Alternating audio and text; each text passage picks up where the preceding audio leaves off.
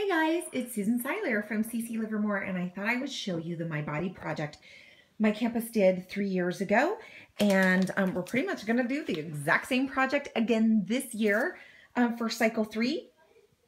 So what we have here for supplies is a 36 inch wide piece of uh, roll of brown paper cut to size for each student. Um, so we would roll it out, trace the student, cut it, bring the next student, pull out the paper to size, trace them, and um, you know cut it off and roll out another piece and so forth. Uh, 36 inches was great. My son at the time was seven. And so this size paper worked really well for even our older students. But you can see there's a lot of space in here. And so a more narrow piece of paper, I think a 24 inch, I'm sure would also work. But I just felt like a 36 inch size would be ideal. But I think a 24 inch would work as well. Okay, so other supplies. Of course, crayons. I purchased boxes of 24 count Crayola crayons, the one that are ones that are 50 cents during the back to school sale. And on the director Facebook page, you can see the alignment that I posted between the 24 box crayons of Crayola and this project. There's nothing magic in the color. You can see the spinal cord was supposed to be gold. And there's nothing magic about it being gold versus being yellow. So we used what was in that box. And it worked out terrific. Crayons produce a nice bright um, color that's easy to put on where colored pencils take more effort to color in to get enough vibrancy in the um, on the actual piece of paper. Okay, so we have our paper, obviously a Sharpie, we have crayons, we have the copies themselves that I did um, enough for each class, gave them to the tutors, and they were responsible for those. What else? Um, three brads. There are three brads that we used. One for the small intestine, one for the liver, one for the stomach, and then, of course, tape. We used lots of tape. And instead of bringing rolls of tape, which I did have those as backups to help um, the classes, especially the younger classes, I went ahead and purchased the pop-up tape dispensers. You wear them on your wrist and they the tape just pops up and you pull it up and it's like a post-it. You just pull it up and then the next piece comes and they're they're a specific length of length, I think about an inch and a half. And it worked great. It worked wonderfully. You can get them, I think they're made by Scotch. You can get them on Amazon or at, you know, Walmart, Target. And those worked really well for me, but the rolls of tape would absolutely be fine. It just, you know, it'll take more parent assistance, I think, to get all the get all the pieces done, all the pieces cut. You know what I'm talking about. Okay.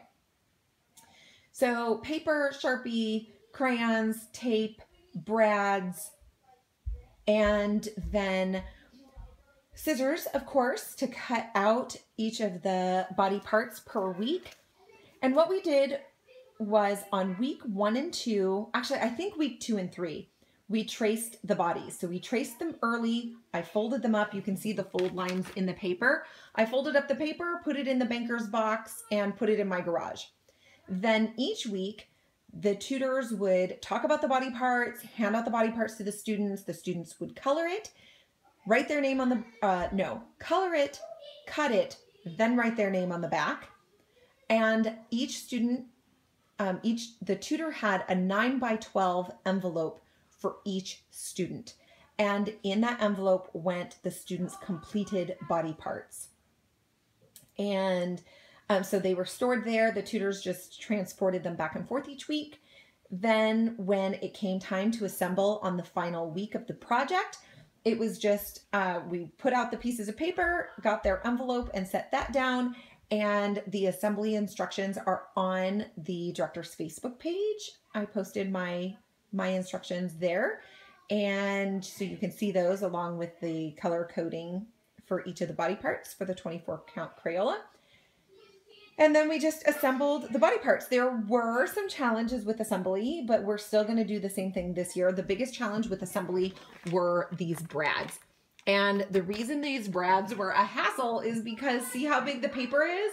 And you know, brads, you've got to punch it in and then you have to pick up this whole big piece of paper and where are they? There they are. Flatten out the back of the brads.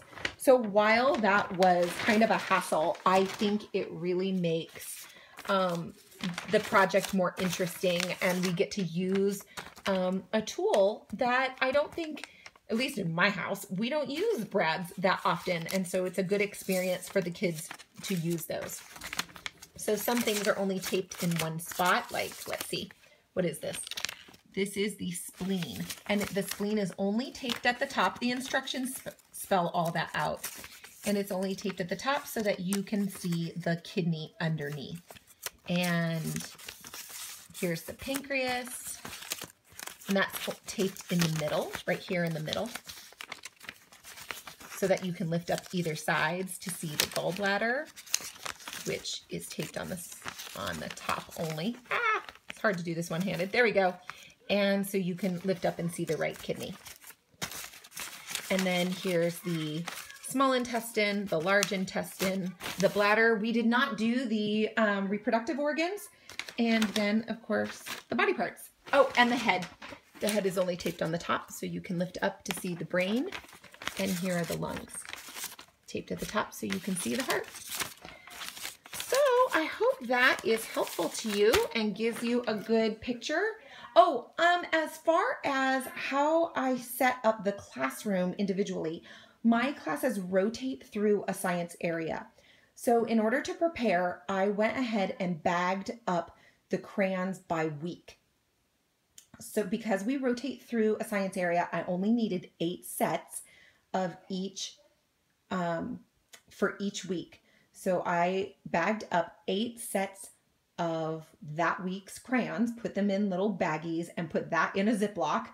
And that was my, you know, week seven, week eight, week nine. And I just made sure I had enough crayons to cover that. And I bought, I, uh, let's see, there's two weeks that we do um, red, right? We have red kidneys, we have a red heart, and we have red muscles. And I just made sure that I had enough red crayons. I just bought extra boxes at 50 cents each to make sure I didn't have to do a lot of um, rotating of supplies, like taking the red crayons out of my bags from week seven and putting them in, you know, week nine, whatever it is, I don't know, but you get the gist because I just needed my life to move more simply. And then um, for setup, I just set out eight small paper plates and put the crayons on that paper plate. And, and so each student had a paper plate with their own set of crayons. Um, and then the next class would come in and that would already be set up. So hopefully that's clear. Um, leave comments below about maybe things that you've done as a tutor or um, other ideas that you have or questions that you have. Feel free to post in the comments because everybody can see those. And I hope this helped you get a visual for what this project looks like. God bless you, and I will see you. I will talk to you later.